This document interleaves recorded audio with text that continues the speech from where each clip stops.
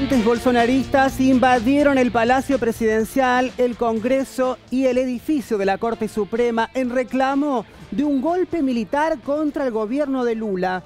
El presidente repudió el ataque, lo calificó como un acto antidemocrático y dijo que los responsables y financistas de las manifestaciones pagarán con la fuerza de la ley. Lula además anunció por decreto la intervención federal de Brasilia con el objetivo de restablecer orden en la capital. Una jornada de máxima tensión, ¿eh? estamos viviendo ya en el atardecer en la República Argentina, pero cuando transcurrían las primeras horas posteriores al mediodía, empezaba a vislumbrarse una jornada muy complicada en Brasil cuando se daba el primer ingreso en el Palacio Legislativo, la inacción de la policía militar estadual, ¿eh? la policía de Brasilia, que es el mm, punto de inflexión fundamental por la cual Lula da Silva, el presidente de Brasil, toma la decisión de la intervención federal hasta el 31 de enero, ¿eh? hasta el 31 de este mes. Hay una información importante para compartir con ustedes en el inicio de esta edición del noticiero, que es que se ha restablecido el control en los tres edificios federales.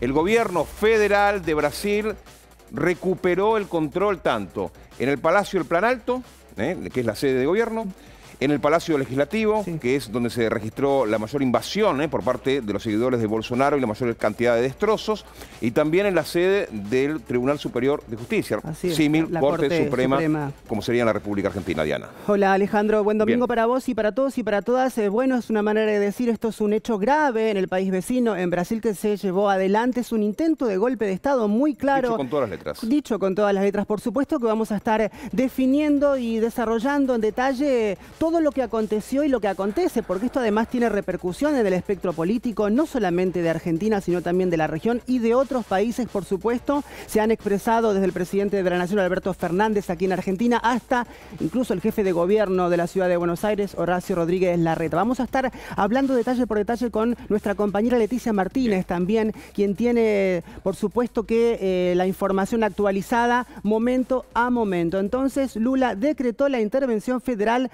de Brasil, esta convocatoria de simpatizantes de Bolsonaro que incluso a través de las redes sociales se convocaban con este eslogan de todo el pueblo eh, al poder o algo por el estilo. Vamos a estar hablando de esto. En un rato nada más vamos a escuchar al presidente de la Nación eh, que ha brindado una entrevista a la red Banderiantes de, Brasil. Eh. Vamos a compartir con vos también las palabras de Lula, que habló en cadena nacional. Pero vamos a ir analizando de a poco de qué, qué pasó durante la tarde, cuáles son las motivaciones, qué hay detrás de los miles de manifestantes eh, que hicieron una incursión parecida a la que vimos hace dos años en Estados Unidos, ¿no? a, lo Donald Trump, ¿no? Y esa incursión que fue trágica porque terminó con la vida de seis personas. Estamos con Leticia Martínez. Leti, ¿cómo estás? Bienvenida. Bien, ¿eh? Alejandro. Bueno, inesperado ¿O más o menos? Más o menos, diría. De hecho, mencionabas lo de Donald Trump y diría que la fecha en la que se temía lo que finalmente sucedió hoy fue incluso nueve, diez meses antes de las elecciones, porque Jair Bolsonaro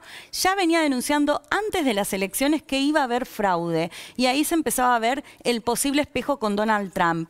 Eh, se esperó esto también después de cuando ganó en la segunda vuelta Lula da Silva, que recordemos que fue por un porcentaje eh, muy pequeño, en torno a menos de un 2%, y sorprendió diría que haya sido hoy, a una semana de la toma, de la, llegada, digo, de Lula da Silva a la presidencia. Recordemos que el domingo pasado estaba asumiendo el tercer gobierno Lula da Silva. Por eso diría que la sorpresa, si se quiere, es que la fecha eh, que eligieron fue hoy, porque además hay que recordar que Jair Bolsonaro no está en Brasil, Jair Bolsonaro está en el estado de Florida, donde está también el exmandatario Donald Trump. De hecho, esto había generado que, eh, si pensamos en lo que pasó después de la elección, que incluso hubo tomas, por ejemplo, en las bases, en las sedes militares de bolsonaristas desde el primer día en el que ganó Lula da Silva. Se habían perdido un poco estas manifestaciones, sobre todo justamente porque Bolsonaro, al irse del país, bueno, generó como cierto, eh, digamos, descremento, si se quiere, por parte de sus seguidores que empezaban a cuestionar. Ni siquiera participó del traspaso de poder. Claro, pero además lo vivieron un poco como un abandono, ¿no? El hecho de que se vaya del país. Por eso sorprendió, diría yo,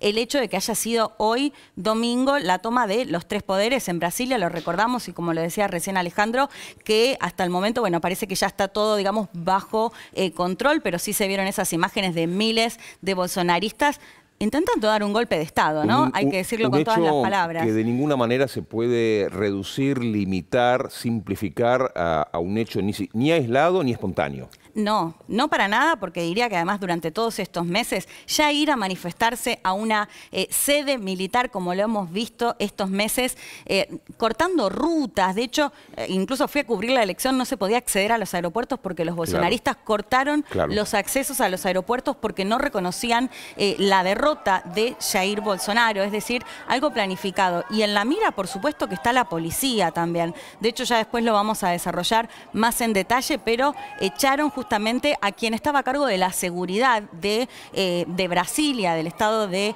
Federal de Brasilia, eh, porque justamente es quien queda señalado ante esta situación. Paradójicamente, quien, eh, Torres, quien estaba a cargo de la seguridad, está en este momento en Estados Unidos también.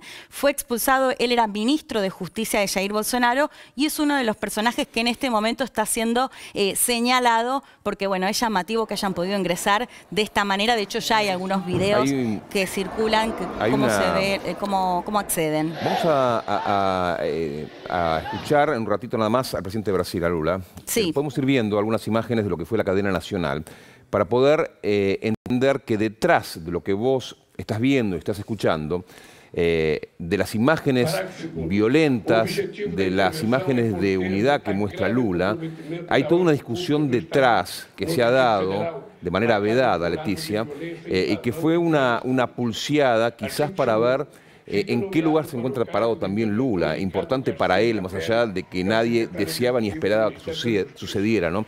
Porque hay que decir y reconocer que las Fuerzas Armadas y los sistemas de seguridad de Brasil se han visto muy beneficiados durante el proceso democrático, pero proceso al fin de Bolsonaro en Brasil. Entonces siempre quedaba como la sensación de a quién responde realmente el ejército, y las fuerzas de seguridad más allá de que Lula haya ganado y esté en el poder. Sí, totalmente. De hecho, cuando veíamos, por ejemplo, los bloqueos que se dieron en estos últimos meses, se veía una inacción total por parte de las fuerzas de seguridad que permitían justamente que se lleven adelante estos bloqueos. De hecho, fue el propio Bolsonaro que en un momento salió a decir, bueno, basta de cortes, pero sí se veía esa inacción por parte de las fuerzas de seguridad que van a quedar ahora eh, en la mira. Hubo un rechazo internacional muy fuerte. ya Alejandro salieron varios mandatarios de la región y del mundo justamente a condenar eh, el intento el de estado de, de, golpe de estado. Decía, hay que decirlo con todas las palabras, fue un intento de golpe de estado lo que vimos hoy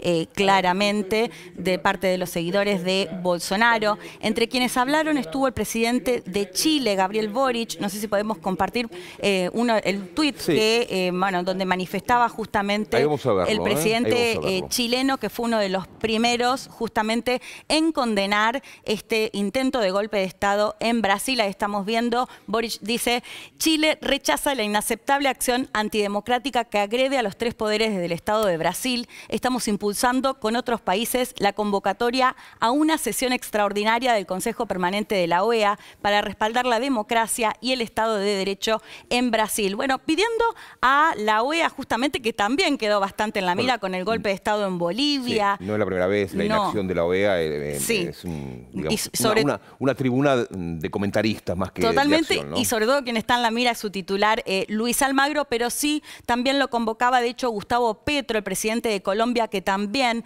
rechazó este intento de golpe de Estado en Brasil, lo hizo también a través de su cuenta en Twitter, ahí lo estamos viendo. Dice, toda mi solidaridad a Lula da Silva y al pueblo de Brasil, el fascismo decide dar un golpe las derechas no han podido mantener el pacto de la no violencia. Es hora urgente de reunión de la OEA si quiere seguir, eh, si, quiere seguir como institución y aplicar la Carta Democrática. Bueno, hay un poco más duro el presidente colombiano justamente con la OEA, en parte de lo que decíamos, ¿no? Una EA y, OEA y un Luis Almagro que quedó muy en la mira después del golpe de Estado en Bolivia. Vamos a explicarle a nuestra, audiencia qué fue lo que pasó hoy, cuál era la intentona, eh, cuál era la estrategia eh, que no sabemos si es instalar la idea para que quede y condicionar al gobierno de Lula da Silva, o si fue realmente el intento, a través de la toma de los edificios más importantes federales, de realmente generar un golpe de Estado. Eh, si fue así, falló. Si fue así, falló. Eh, pero la realidad que la idea era tomar, como hicieron los edificios federales, y esperar la reacción de las Fuerzas Armadas para concretar el golpe de manera de materializarlo de manera concreta. Sí, bueno, en ese sentido, si lo vemos desde ahí, sí falló, pero yo diría que yo no sé si el objetivo, y esto sí se puede comparar, me parece, con la toma del Capitolio, no sé si el real objetivo o si estaba en duda que haya un golpe de Estado, digamos, que puedan destituir a Lula da Silva, sino que genera todo esto, ¿no? Porque genera, ahora Lula, bueno, lo que dice es que va a haber un, dice no, un decreto que va a intervenir justamente años, Brasilia. Lo que vemos en Estados Unidos es cómo se empoderaron de alguna manera los seguidores de Donald Trump después de la toma del Capitolio, la toma del Congreso, que el viernes se cumplieron dos años. Sí, ahí, bueno, las fuerzas de seguridad reaccionarios más fuertes, de hecho hubo eh, al menos cinco muertos, bueno, todavía siguen en investigaciones. Y de hecho a quien se apunta justamente como principal instigador de esto es a Donald Trump. Lo mismo fue lo que dijo Lula da Silva acá, que apuntó a Jair Bolsonaro. Por eso yo diría que si bien eh, eh, el objetivo, por supuesto, del golpe de Estado es destituir al presidente, me parece que acá en lo que estamos viendo, sobre todo con estas ultraderechas, es debilitarlo por un lado y por otro empoderar a sus seguidores, ¿no? En este caso, a los seguidores de Bolsonaro. De hecho, si lo comparamos con lo que pasó en Estados Unidos, Donald Trump tiene la posibilidad de volver a gobernar pese a la toma del Capitolio. Son derechas que no solamente intentan lo que intentaron siempre, derechas extremas, que intentan lo que intentaron siempre, sino que además tienen poder del voto. Tienen poder popular porque, lo dijiste recién, ganaron por dos puntos en Brasil. ¿eh? Y Donald Trump tiene posibilidades concretas también de volver al poder en Estados Unidos. De hecho, tanto Donald Trump como Jair Bolsonaro, si bien perdieron, sacaron más votos todavía que en su primera votación. Eh, vamos a escuchar y yo te, además de escucharlo, eh, fíjate el, semblante del presidente brasileño, eh, porque si bien está sereno, me parece que lo vas a ver más enojado que muy pocas veces lo he visto de esa manera al presidente de Brasil. Como verdadeiras, como verdadeiros vándalos, destruindo o que encontrava pela frente. Nós achamos que houve falta de segurança e eu queria dizer para vocês que todas essas pessoas que fizeram isso serão encontradas e serão punidas. Eles vão perceber que a democracia ela garante o direito de liberdade, ela garante o direito de livre comunicação, de livre expressão, mas ela também exige que as pessoas respeitem as instituições que foram criadas para fortalecer a democracia. E essas pessoas, esses vândalos, que a gente poderia chamar de nazistas fanáticos, de stalinistas fanáticos, ou melhor, de stalinistas não, de fascistas fanáticos, sabe, fizeram o que nunca foi feito na história desse país. Bueno, ¿qué queda en claro de esta parte? Pero hay, hay más definiciones de, de Lula. Eh, Vamos a repetir de que los tres edificios federales fueron recuperados por el gobierno federal, que me parece que es importante. Yo creo que tiene que ver a partir de la intervención eh, federal del Estado. Me parece que eso también ha descomprimido un poco porque le da, habilita eh, a, a las fuerzas a nivel federal a intervenir, ¿no? Sí, totalmente, pero igual hay algunos videos que, por ejemplo, se ve la policía militar, cierta inacción. Por eso ahí Lula es lo que señala, ¿no? Y señalaba también al secretario de Seguridad que eh, lo echaron justamente en los últimos minutos, después igual lo vamos a, desarrollar. Apuntó, por supuesto, a Jair Bolsonaro, ¿no? Lo que decía Lula también es, eh, siempre quiso esto Bolsonaro, de hecho apuntó, decíamos, el, intento de golpe de Estado fue en el Congreso, fue en, eh, la residencia, no, no en la residencia oficial, sino sería lo que sería la Casa Rosada, de Brasil y también lo que sería la Corte Suprema, ¿no? el Tribunal Supremo de Brasil, que ha sido uno de los grandes enemigos de Jair Bolsonaro, justamente porque Bolsonaro al denunciar, por ejemplo, eh, fraude o incluso investigado por la fake news, se convirtió en el gran enemigo de la Corte Suprema de Bolsonaro. Por eso ahí Lula también decía, bueno, esto Bolsonaro en realidad ya lo, venía intentando, ¿no? Venía intentando que esto eh, suceda. Ahí decía, bueno, se pueden comparar estos vándalos con nazis y con fascistas, que fue parte del discurso, sobre todo de la campaña de Lula, lo recordamos, Lula de 77 años que había había dicho no quiero volver a ser presidente, voy a volver a ser presidente porque es el fascismo o es la democracia. Bueno, me parece que parte de lo que pasó hoy justamente eh, representa bastante esta, este planteo que hacía Lula de democracia o fascismo. Es interesante explicar, eh, explicarte a vos que estás en casa, no tenés por qué saberlo. Eh, Brasil es una ciudad durante la semana, de lunes a viernes, y es otra ciudad total y absolutamente distinta sábado y domingo. ¿Por qué? Porque se instalan en Brasilia todos los departamentos de Estado. Entonces viaja del Estado federal. Es la capital federal, es como la ciudad de Buenos Aires, nada más que en Brasil, trasladada a un lugar muy alejado de, los centros urbanos característicos de Brasil. Eh, esto significa que durante los fines de semana no hay nadie, hay muy poca gente, ¿eh? solamente la gente que trabaja en la periferia, pero en el centro de la ciudad no hay nadie, no queda nadie porque todos viajan a sus respectivos estados durante el fin de semana. Eh, no es un dato menor a la hora, porque no hay toda esa gente como para que se convoque de manera espontánea. No, totalmente. De hecho, ya se veían colectivos y de la manera en la que arribaron. De hecho, ni siquiera estaba Lula en Brasilia. Lula estaba, en estaba en el estado de San Pablo, mm. sí, por eso llegó, bueno, en los últimos minutos que fue cuando, cuando habló. Y por eso te decía que la sorpresa es que haya sido. Sorpresa para quienes, por supuesto, no sabíamos, pero claramente esto estaba planificado que sea un domingo que, como vos lo decías, una ciudad donde están todos los poderes, una zona de muchos hoteles, una zona Gobernada por el bolsonarismo. sí, el gobernador de este momento es un aliado de Bolsonaro. de hecho, eh, Ibanez Rocha, es interesante lo que se está dando dentro de eh, los gobernadores bolsonaristas que algunos ya salieron fuertemente a condenar mientras Jair Bolsonaro se mantiene en silencio desde Estados Unidos. ¿Te parece que repasemos un poco, nos va, nos va, nos va a traer información importante Diana, eh, para poder saber cómo reaccionó la dirigencia política en Argentina? Que reaccionó rápido. Claro que sí, Alejandro. A través de las redes sociales. A ver, Diana. Claro que sí, Alejandro reaccionó rápido. Estamos hablando de tweets puntuales, tanto del presidente de la Nación, Alberto Fernández, como de la vicepresidenta, Cristina Fernández de Kirchner. Y también vamos a repasar uno de los tweets de Santiago Cafiero, el canciller. A propósito de esto, el denominador común es la defensa de la, democracia, por supuesto. Vamos a empezar con el tuit del presidente de la Nación entonces, Alberto Fernández, y luego sus respectivos hilos. Estamos junto al pueblo brasileño para defender la democracia y no permitir nunca más el regreso de los fantasmas golpistas que la derecha promueve. Hasta ahí el tuit del presidente de la Nación, que luego también se extendió a través de unos hilos en ese mismo tuit, pero vamos a repasar el que em, publicó la vicepresidenta Cristina Fernández de Kirchner, en donde puso dos imágenes y obviamente en eh, lo que ella detalla remite precisamente a la toma del Capitolio en aquella fecha. Las imágenes de hoy en Brasil Brasilia replican con exactitud las imágenes del 6 de enero de 2021 en el Capitolio de Washington. No es casual y esto también va en línea con lo que venías hablando en la mesa, Alejandro, con Leticia, ¿no? Y estas dos imágenes representativas, por supuesto, que la presidenta, la vicepresidenta eh, publicó en su cuenta de Twitter. Hay otro tuit más que vamos a ver, que es el del canciller Santiago Cafiero, frente a las acciones golpistas de la derecha en Brasil manifestamos nuestra solidaridad con Lula y alzamos la voz en defensa de la democracia brasileña. Hasta aquí entonces se pronunciaron estos tres referentes importantes de nuestro país, el presidente, la vicepresidenta y el canciller. Continuamos con vos y con Leticia. Alejandro.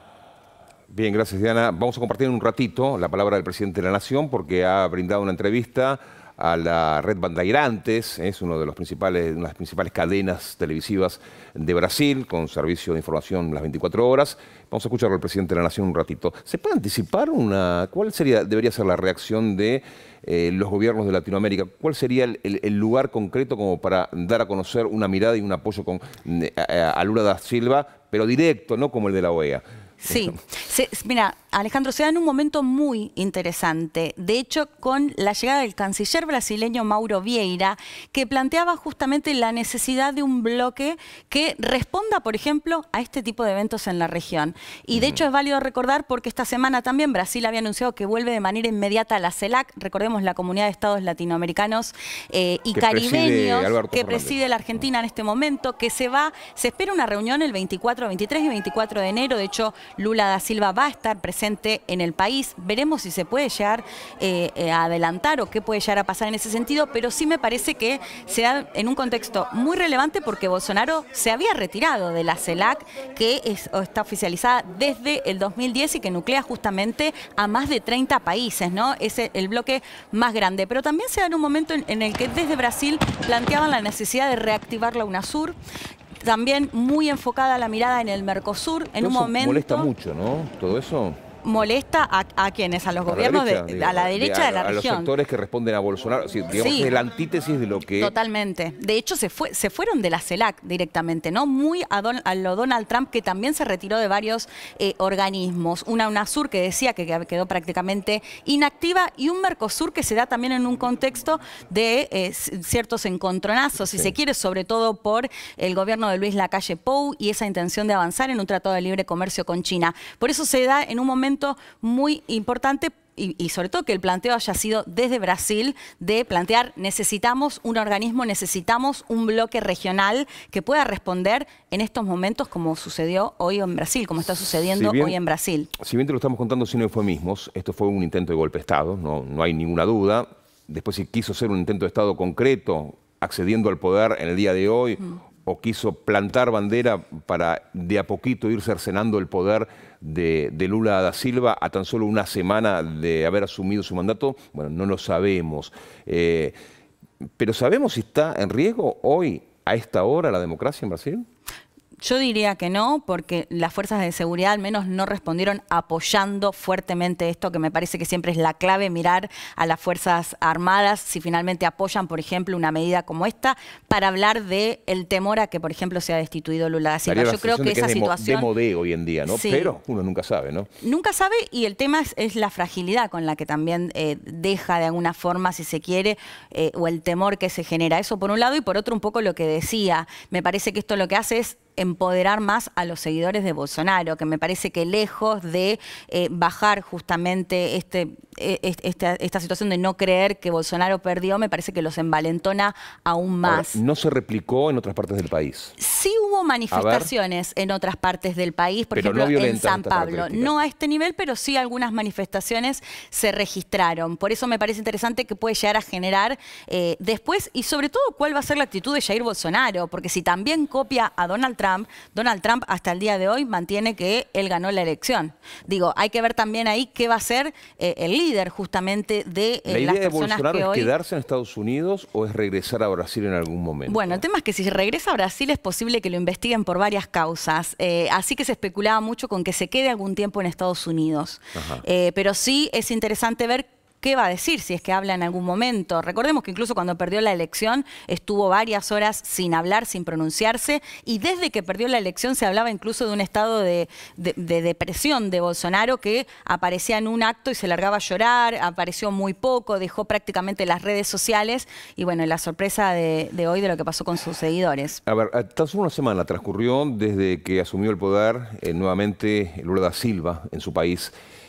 ¿Qué hizo esta semana? Bueno, eh, arrancó con todo. Decenas de decretos que llevó adelante, que firmó Lula da Silva, justamente para dar marcha atrás con varios de los ítems que más criticaba Lula de Bolsonaro. Estamos hablando de la tenencia de armas, estamos hablando de la Amazonia, ¿no? Tan cuestionado Bolsonaro a nivel internacional. De hecho, se conoció en las últimas horas que el 2021 fue el año de mayor deforestación en la Amazonia, muy cuestionado por esto Bolsonaro. Uno de los decretos de Lula daba, por ejemplo, a restablecer el fondo destinado a las comunidades que viven en la Amazonia, eh, lo que tiene que ver con la ayuda estatal que va a continuar en ese sentido. Bueno, decenas de decretos que buscaban dar marcha atrás justamente con las políticas que había aplicado Jair Bolsonaro y además también en política exterior, lo que mencionábamos antes, el regreso a la CELAC, el hecho de decir Argentina, Uruguay y Paraguay van a ser los países a los, con los que más relación eh, o vínculo eh, vamos a, a, tener, entre otras medidas que llevó adelante en una semana muy activa del presidente de Brasil. Hay ciertas comparaciones que a veces nos pueden ayudar a entender, son como ejercicios.